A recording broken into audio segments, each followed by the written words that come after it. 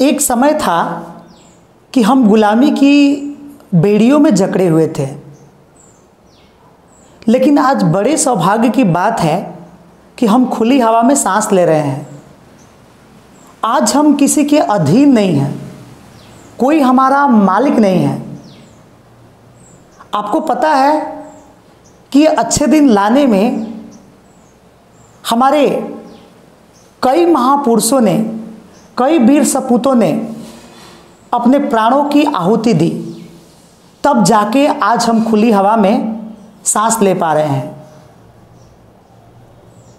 हमारे महापुरुषों ने, हमारे सपूतों ने गुलामी की बेड़ियों को तो काट दिया।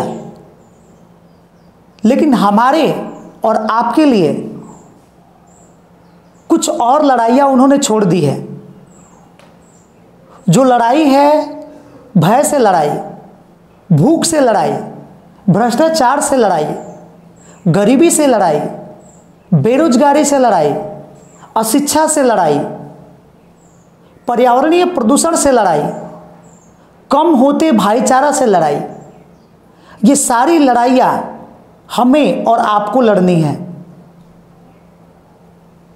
मुझे यकीन है कि हम और आप आजीवन इन लड़ाइयों को लड़ते रहेंगे।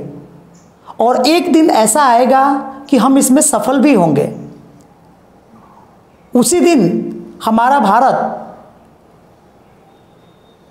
आज़ाद होगा, असल मायने में और खुशहाल भी होगा।